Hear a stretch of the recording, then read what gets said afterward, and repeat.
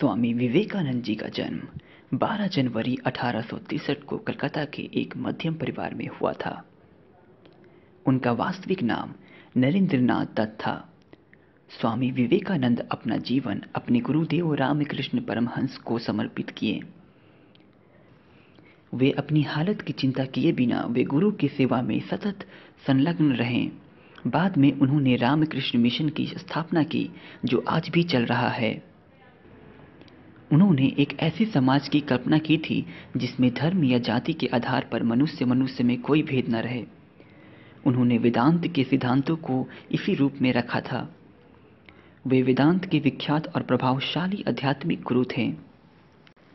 उन्होंने अमेरिका स्थित शिकागो में सन अठारह सौ तिरानवे में आयोजित विश्व धर्म महासभा में भारत की ओर से सनातन धर्म का प्रतिनिधित्व किया था।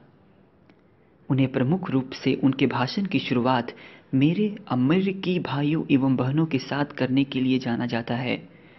उनके संबोधन के इस प्रथम वाक्य ने सबका दिल जीत लिया था।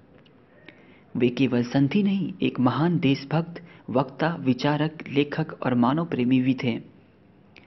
अमेरिका से लौटकर उन्होंने देशवासियों को कहा था कि नया भारत निकल पड़े मोची की दुकान से, कारखानों से हाट से, बाज़ार से, जंगलों पहाड़ों पर्वतों से। गांधी जी को आज़ादी की लड़ाई में जो जन समर्थन मिला, वह विवेकानंद जी का ही फल था। वे इसी प्रकार भारतीय स्वतंत्रता संग्राम के भी प्रमुख प्रेरणा स्रोत बने। उनका विश्वास था कि पवित्र भारतवर्ष धर्म एवं दर्शन की पुण्य भूमि है। उनकी कथन, उठो, जागो, स्वयं जाग कर औरों को जगाओ काफ़ी प्रचलित है।